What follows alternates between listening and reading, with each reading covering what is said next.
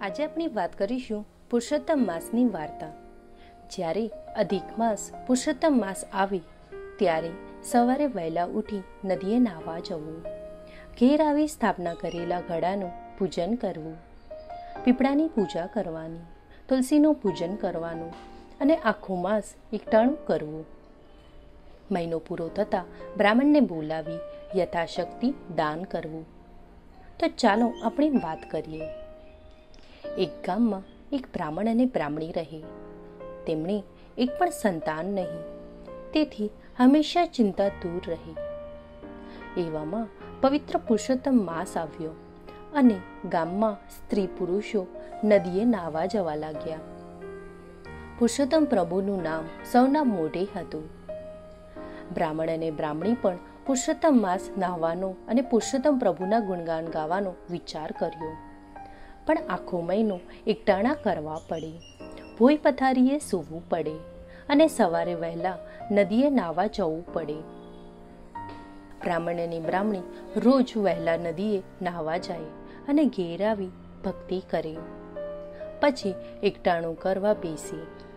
પરંતુ રોજ રાંધવાની કડાકૂટ કરવી પડે. એટલે એક દિવસ બ્રાહ્મણ બ્રાહ્મણીને કહે, ઘરમાં રૂમઝૂમતી વાવ હોય તો બધું કામ કરે. એટલે આપણે નિરાંતે ધર્મ ધ્યાન ને પૂજા પાઠ કરી શકીએ. બ્રાહ્મણી કહે, તો પછી શાણી વહુ લઈ આવો.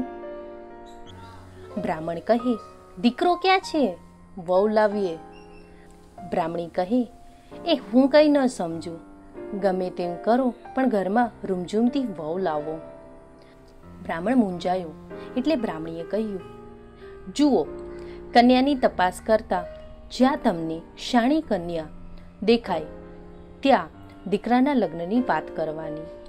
જો કન્યાવાળી મૂર્તિઓ જોવા માગે, તો કહેવાનું કે મારો દીકરો શાસ્ત્ર ભણવા કાશી ગયો છે. તે એક મહિનામાં આવી પહોંચશે. તો અત્યારે તેની પાઘડી સાથે ત્રણ ફેરા ફેરવો. બાકી રહેલો ચોથો ફેરો એના આવ્યા પછી ફેરવશું. બ્રાહ્મણ તો બીજા દિવસે સવારના ખભે ખડીઓ ભરાવીને પુત્રવધુની શોધમાં નીકળી પડ્યો. ચાલતા ચાલતા એક ગામમાં કોઈ ગોરના ઘરમાં રૂપાળી કન્યા જોઈ. કન્યા પણ કેવી, જાણે રૂપ રૂપનો અવતાર. જોતા જ બ્રાહ્મણની આંખ ઠરી ગઈ. આવી વહુ ઘરમાં હોય તો ઘર દીપી ઉઠે. તેણે જોઈ બ્રાહ્મણને ઘણો હર્ષ થયો. ત્યાં તો યાદ આવ્યું કે પોતે દીકરા વગર વહુ લેવા નીકળ્યો છે. એટલે ઉદાસ થયો. પરંતુ હિંમત હારે કંઈ કામ આવે? બ્રાહ્મણ તો ગોર મહારાજ આગળ સગપણની વાત કાઢી. ગોર મહારાજે કહે, તમારી વાત માની લઈએ, પણ મૂર્તિઓ જોયા વગર સગપણ કેવી રીતે થાય? બ્રાહ્મણે બ્રાહ્મણીના શીખવ્યા મુજબ બધું કહ્યું. ગોરના ધ્યાનમાં વાત ઉતરી. ગોરે તરત જ કન્યાને બોલાવી એટલે બ્રાહ્મણે પાઘડી સાથે ત્રણ ફેરા ફેરવી દીધા. તે વહુને પણ હરખભેર ઘરે લઈ ગયો. બ્રાહ્મણી રાજી થઈ ગઈ કારણ કે રાંધવાવાળી પુત્રવધુ ઘરમાં આવી હતી. તેણે બધું કામ ઉઠાવી લીધું. એક દિવસ સવારે બ્રાહ્મણ અને બ્રાહ્મણી નદીએ નાહવા ગયા. ત્યારે વહુ ઘરમાં રાંધી રહી હતી. એ વખતે એક પડોશન સુપડું લેવા ઘરમાં આવી. તે ઘરમાં રૂપાળી કન્યાને રાંધતી જોઈ વિચારમાં પડી ગઈ. આ વળી કોણ? તેનાથી ના રહેવાયું. એટલે પૂછી નાખ્યું. બાઈ, મેં તને આજે પહેલી વહેલી જોઈ, તો તું કોણ છે? વહુએ કહ્યું. કોણ તે? આ ઘરની વહુ છું. પડોશન કહે, અલી, આ બ્રાહ્મણ બ્રાહ્મણીનો છોકરો ક્યાં છે? કે વહુ થઈને આવી છું? વહુ મૂંઝાઈ. તેના મનમાં થયું કે શું? મારી સાથે બનાવટ તો નહીં કરવામાં આવી હોય ને? સાસુ સસરા નદીએ આવ્યા. ત્યારે વહુનું મોઢું ચડેલું જોયું, તેથી પૂછ્યું, બેટી, શું થયું? વહુ કહે તમારે દીકરો નથી. તે છતાં તમે મને અહીં લઈ આવ્યા છો. સાસુ કહે, તને આવું કોણે કહ્યું? મારો દીકરો તે ડાયો અને તારા કરતાં પણ રૂપાળો છે. વહુ બોલી, હમણાં પડોશન સુપડું લેવા આવી હતી. તેણે આ કહ્યું કે આ લોકો વાંજ્યા છે. સાસુએ વહુને કહ્યું, અદેખા લોકો, ગમે તેમ બોલે. આવડું મોટું સાત ઓરડાવાળું ઘર છોકરા વગર દીપે ખરું?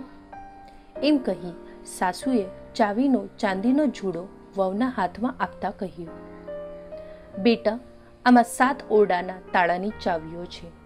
તેમાં બધુંય ભરેલું છે. પરંતુ સાતમો ઓરડો ભૂલે ચૂકે ઉગાડતા નહીં. છ ઓરડા ખુશીથી જોજો. વહુને સાસુની ઉપર કંઈક વિશ્વાસ બેઠો. બીજે દિવસે સવારના સાસુ સસરા નદીએ ગયા. એટલે વહુએ એક પછી એક છ ઓરડા ઉગાડ્યા. તો દરેકમાં વિપુલ સામગ્રી ભરેલી હતી. અનાજ, વસ્ત્રો, વાસણો, સોના ચાંદીની પાટો અને ઝવેરાત બધુંય હતું. આ બધું જ છ ઓરડામાં જોઈ વહુએ હળવેથી સાતમો ઓરડો ઉગાડ્યો. તો અંદર ઝગમગ દીવો પ્રકાશ રેલાવી રહ્યો હતો અને દીવામાં પ્રકાશમાં એક પ્રભાવશાળી પુરુષ પોથી વાંચી રહ્યો હતો. તેનું પીળું પિતાંબર પહેરેલું હતું. બારણું ઉઘડેલું જોઈ એ પુરુષે કહ્યું, અરે કમાડ વાસી દો. ખબર પડતી નથી કે હું શાસ્ત્ર ભણી રહ્યો છું.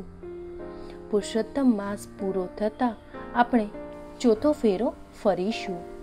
વહુએ હરખભીર કમાડ વાસી દીધા. અને સાસુ સસરા આવ્યા ત્યારે તેમની ખૂબ જ ચાકરી કરી, પણ પોતે સાત ઓરડા ઉઘાડેલા તે વાત કરી નહીં. પુરુષોત્તમ માસની પૂર્ણાહુતિ થતાં વહુએ સાસુ સસરાને નમન કરી કહ્યું, મારે હજુ ચોથો ફેરો ફરવાનો બાકી છે. માટે ચોરી બંધાવો, મંગળ ગીતો ગવડાવો. સાસુ સસરા મૂંઝાયા કે દીકરા વગર ચોથો ફેરો ક્યાંથી ફરાય? આ સંકટમાં ઉઘારવા તેમણે પુરુષોત્તમ પ્રભુને સાથ કર્યા અને પ્રાર્થના કરવા માંડી. હે પુરુષોત્તમ પ્રભુ, અમે ભાવપૂર્વક તમારું વ્રત કર્યું હોય, શુદ્ધ મનથી તમારી ભક્તિ કરી હોય, તો અમને સંકટમાંથી ઉગારો, અમારી લાજ રાખો. થડાધડ કરતા સાથે ઓરડાના કમાડ ઉઘડી ગયા. પીળું પિતાંબર પહેરેલા પુરુષોત્તમ રાય ચાકડી ખટખટાવતા ઓરડામાંથી બહાર આવ્યા. બ્રાહ્મણ બ્રાહ્મણી તેમને જોઈને એટલા બધા હરખાઈ ગયા કે દોડીને તેમને ભેટી પડ્યા અને પછી ચોથું મંગળ વર્તાયું અને લગ્નવિધિ થઈ. બ્રાહ્મણ બ્રાહ્મણી હર્ષ પામ્યા કે પુરુષોત્તમ પ્રભુ ફળ્યા હતા. હે પુરુષોત્તમ, જેવા તમે બ્રાહ્મણ બ્રાહ્મણીને ફળ્યા તેવા પુરુષોત્તમ માસ નાહનાર તેમજ કથા વાંચનારને અને સાંભળનારને ફળજો. ખુશી ભાવસારના જય શ્રી કૃષ્ણ.